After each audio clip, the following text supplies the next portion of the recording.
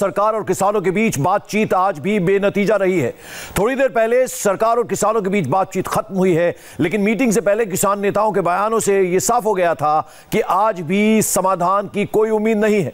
किसान नेताओं और सरकार के बीच 15 जनवरी को फिर से अब बैठक होगी। आज करीब ढाई घंटे तक चली बातचीत में सूत्रों के मुताबिक सरकार ने यह साफ़ कर दिया है कि कानून वापस नहीं होंगे।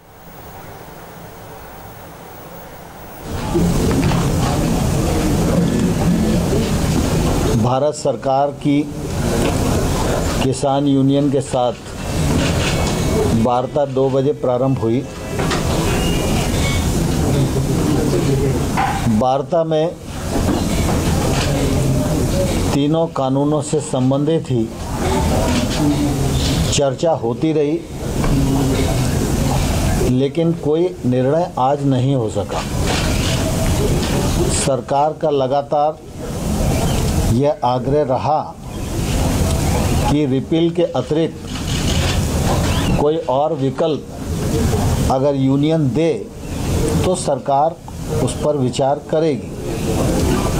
लेकिन बहुत देर तक चर्चा के बाद भी कोई विकल्प आज प्रस्तुत नहीं किए जा सके, और इसलिए आज चर्चा का दौर यहीं स्थगित हुआ।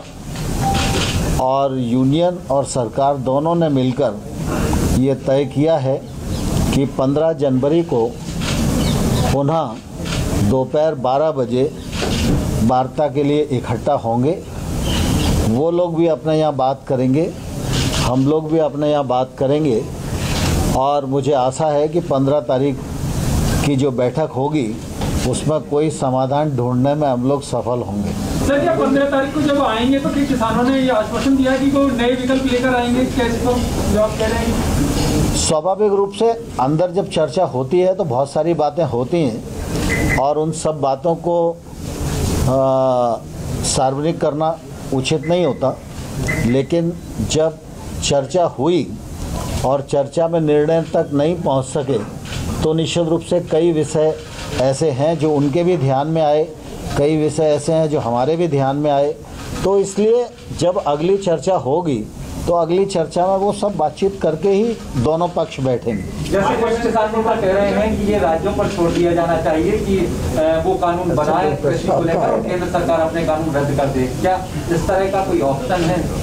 नहीं ब्रह्मा जी आप कह रहे हो लेकिन बैठक में किसी भी किसान नेता ने इस प्रकार का प्रस्ताव नहीं दिया।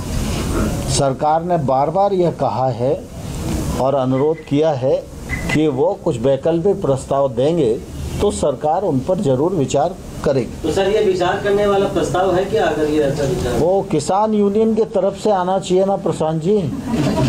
मेरे और आपके प्रस्ताव से कुछ होने वाला नहीं है। सरकार संत बाबा लखा सिंह को अप्रोच कर रही क्या अभी भी लगता है कि ये हमने केवल सिखों का? देखिए हमने सीधा अप्रोच किसी को नहीं किया। कृषि कानूनों पर आंदोलन है। आंदोलन के जो पक्षकार हैं, उनका मानना यह है कि ये कानून निरस्त किए जाने योग्य हैं। देश भर में बहुत सारे लोग इस पक्ष के हैं जो कानून का समर्थन कर रहे हैं। तो जो निरस्त किए जाने के पक्ष में हैं, उन यूनियन से भी लगातार सरकार सम्मानपूर्वक वार्ता कर रही है। जो लोग समर्थन में खड़े हैं, वो हमको जब अनुरोध भेजते हैं तो हम उनको भी मिलने का समय देते हैं। मुझे इस बात की प्रसन्नता है कि बाबा लखा सिंह जी सिख समाज के धार्मिक संत हैं और उनके मन में यह दर्द था कि किसान आंदोलन पर हैं, सर्दी का मौसम है और ऐसे में इसका समाधान जल्दी होना चाहिए। तो उन्होंने मुझे सूचना भेजी। मैंने बहुत सम्मान से उनका समय निश्चित किया। वो वार्ता के लिए पधारे। उन्होंने किसानों की बात को सरकार के समक्ष रखा। मैंने सरकार के कानूनी पक्ष को उनके समक्ष रखा।